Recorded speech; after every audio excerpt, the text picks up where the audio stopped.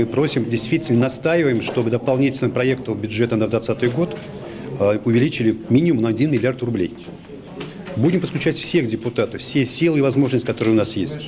Вплоть до того, чтобы не принять бюджет в первом чтении. Почему, чем это вызвано? На сегодняшний день а, учреждение здравоохранения имеет просуженную задолженность более 900 миллионов рублей.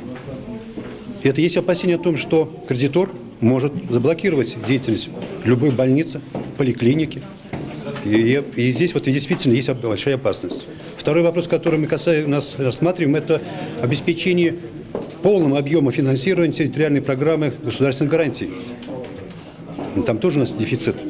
Ну и лекарственное обеспечение, которое мы говорим о том, что у нас более 600 миллионов было на 2019 год, но благодаря тем поправкам, э, корректировкам бюджета и добавлению 100-150 миллионов рублей, которые мы тоже настаиваем и настаивали, э, ситуацию немножко поправили.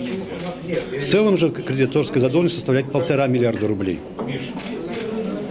А те движения, которые есть, мы не видим изменения. Но нашим жителям хотелось бы, чтобы мы пришли в поликлинику, в больницу, было лекарство, были на рабочих местах все врачи по, в целом по штату, а, не, а дефицит кадров у нас на сегодняшний день есть. И отремонтированы помещения. Он так-то больной человек бывает.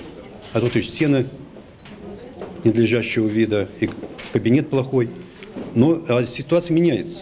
Приобретается оборудование, но вот именно пока есть время, пока не внесен проект бюджета в законодательное собрание, у нас осталась неделя в соответствии с действующим законодательством, мы и проводим данное мероприятие, чтобы нас услышало правительство Ульяновской области.